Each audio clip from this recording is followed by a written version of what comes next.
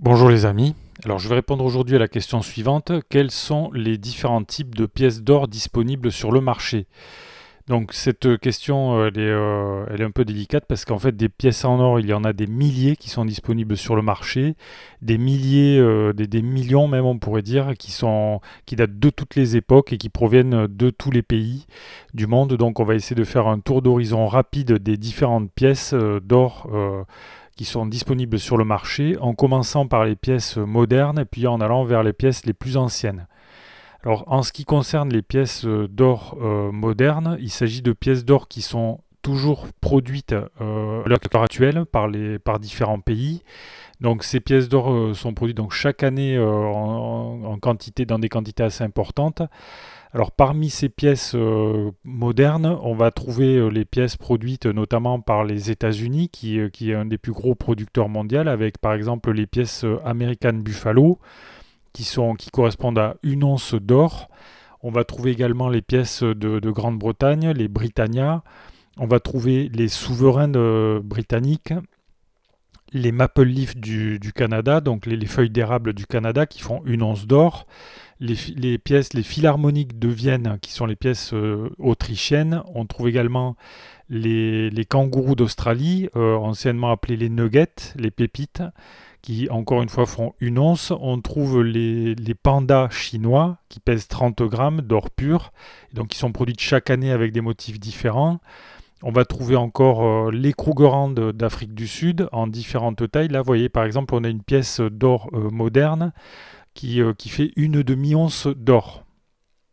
Alors, vous voyez que parmi toutes ces pièces, en fait, on a des pièces donc, qui font une once d'or. En général, c'est un petit peu le standard international pour les pièces d'or modernes mais il y a aussi des demi-onces d'or, des pièces donc qui sont deux fois plus petites, mais on a, on a aussi, sachant que l'once d'or, la Troy ounce pèse, 31,103 grammes, mais après on va trouver des pièces divisionnaires en fait beaucoup plus petites jusqu'à jusqu'au dixième d'once d'or et même parfois encore plus petit que ça. Donc là, on a affaire à des pièces euh, modernes qui sont fabriquées chaque année en quantité assez importante et qui sont considérées comme des pièces d'or euh, d'investissement qui sont très liquides, qui sont, très vendues sur le marché, euh, à la fois sur le marché français, mais aussi bien sûr sur le marché international. Donc c'est une première catégorie de pièces, donc les pièces d'or d'investissement modernes qui sont actuelles. Alors il y a une deuxième grande catégorie de pièces d'or euh, disponibles sur le marché. Alors ces pièces d'or, ce sont des pièces qui, plus, qui ne sont plus fabriquées en réalité depuis euh, parfois assez longtemps mais qui rentrent dans la catégorie aussi, euh, également, tout comme les pièces d'or modernes, dans la catégorie des pièces d'or dites d'investissement, dans la mesure où elles ont été produites après 1800. Elles ont les mêmes, les mêmes avantages fiscaux que les pièces d'or d'investissement modernes. Et parmi ces pièces, on va trouver une grande quantité de pièces d'or euh, internationales qui ont été fabriquées dans, dans, de très nombreux pays du, dans le monde entier, en particulier en France. Alors ces pièces, elles ont comme caractéristique d'avoir un titre d'or fin, c'est-à-dire une pureté supérieure à 900 millièmes. Euh, parfois, parfois, elles sont en, or euh, encore plus pures que ça. Euh, ça peut être 916 millièmes, de l'or à 22 carats si on préfère. Donc dans le cas des pièces françaises qui ont été fabriquées à partir de 1800, en particulier donc les Napoléons, toutes les pièces qu'on qualifie sous le titre de Napoléon, donc, qui ont été fabriquées entre 1803 et 1914 sont considérées comme des pièces d'or euh, d'investissement. Et donc elles sont toujours disponibles sur le marché à ce titre. Aussi bien d'ailleurs que les pièces d'or d'autres pays qui sont très connues, comme par exemple les pièces en or du Mexique, les pièces de 50 pesos, mais on pourrait rajouter également les souverains euh, britanniques qui ont été frappés en très grande quantité au 19e siècle et jusqu'au milieu du 20e siècle, donc euh, qui sont disponibles sur le marché avec différentes effigies. Et euh, on va trouver également toutes les pièces frappées dans le cadre de l'Union latine au 19e siècle, donc les pièces de Belgique qui sont l'équivalent des Napoléons français, mais on trouve également les pièces de 20 francs suisses, les pièces de 20 dollars américaines euh, qui, ont, eu cours jusqu'en 1933, donc euh, qui ont été frappés essentiellement dans la deuxième moitié du 19e siècle jusqu'au milieu du XXe siècle. On va trouver également les monnaies divisionnaires du, américaines en or, donc les, les 5 dollars or, les 10 dollars euh, les, American Eagle qu'on appelle. Les pièces, ce sont des pièces euh, que les Américains qualifient euh, comme des pièces vintage, c'est-à-dire anciennes. Mais on trouve aussi toutes sortes de pièces de monnaie. Alors par exemple, il y a les monnaies d'Allemagne, les monnaies de l'ancien empire d'Autriche-Hongrie. On, trouve, on va trouver des monnaies du, monde entier. Quoi. Voilà. Par, exemple, les monnaies de Russie. Vous voyez que là, on a un très large choix.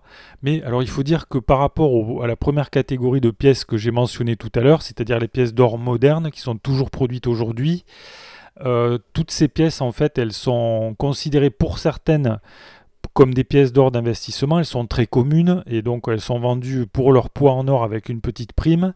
Mais il faut dire qu'il y a une grande partie de, ces pièces qui, ont, euh, qui sortent un petit peu du champ de, la pièce d'investissement. Euh, simples et qui, euh, qui ont une partie de ces pièces donc à une valeur numismatique qui vient une valeur de collection si vous préférez qui vient se surimposer à leur simple valeur en, en or, qu'elles contiennent. Donc ces pièces, euh, une partie de ces pièces a une valeur supérieure et euh, on ne peut pas les acheter en tant que comment au même prix qu'une pièce d'or qu'une simple pièce d'or d'investissement traditionnelle.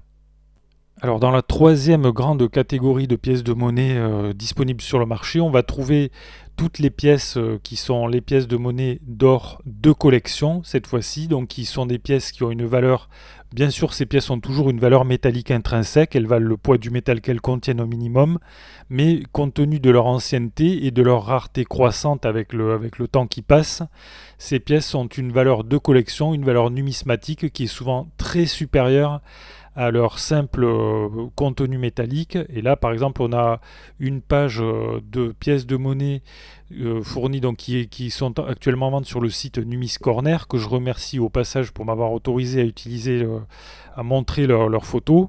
Donc vous voyez qu'ici on a des pièces de monnaie donc des louis d'or, d'authentiques louis d'or de Louis XVI.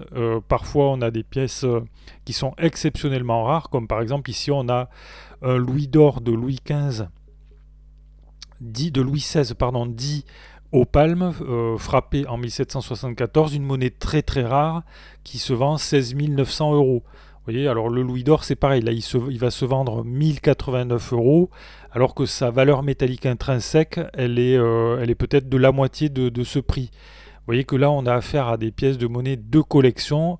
On rentre dans le domaine de la numismatique, on sort du domaine de l'investissement dans l'or pur. Alors là, je vous ai montré quelques monnaies françaises en or, mais il faut savoir que les monnaies françaises en or ont, commencé à être, frappées euh, à partir de la fin du XIIIe siècle, mais que évidemment, euh, il existe également des monnaies, de très nombreuses monnaies en or qui ont été frappées au cours de l'Antiquité. Alors là, par exemple, on peut voir quelques exemples de pièces de monnaie euh, romaines. Donc les, plus anciennes monnaies en or, elles, ont 2500 ans d'âge. Elles ont été frappées par les Grecs dans l'Antiquité grecque. Et euh, alors là, je vous donne un exemple de, monnaie romaine, des solidus ou des solidi, il faudrait dire si on parle au pluriel.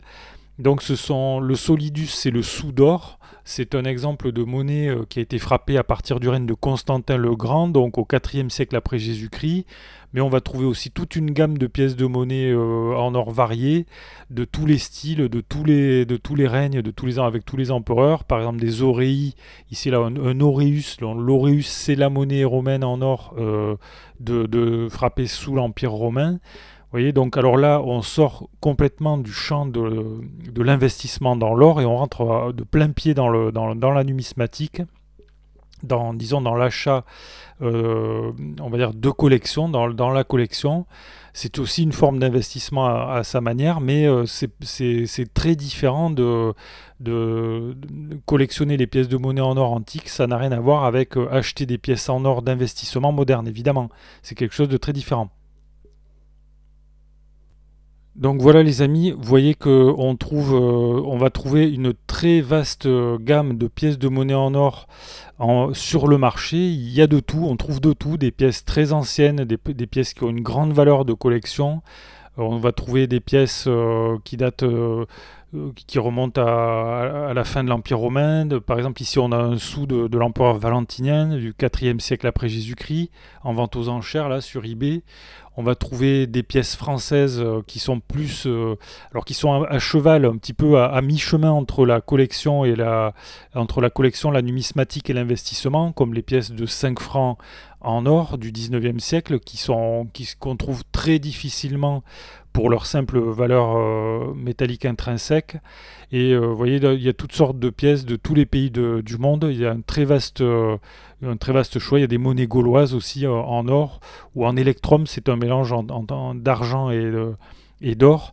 Donc voilà les amis ce que je pouvais vous dire. Donc si, si vous ne savez pas par où commencer, ce que je pourrais vous, vous conseiller, c'est de choisir une pièce française en or classique une pièce de, par exemple, une pièce de 20 francs hors coque pour vous familiariser un petit peu avec ces pièces et je vous recommande d'acheter plutôt euh, une pièce chez un professionnel si possible avec une facture et une pièce scellée qui vous permettra peut-être de bénéficier d'une meilleure fiscalité le moment venu, euh, le moment au moment où il vous faudra revendre votre, euh, votre, votre achat.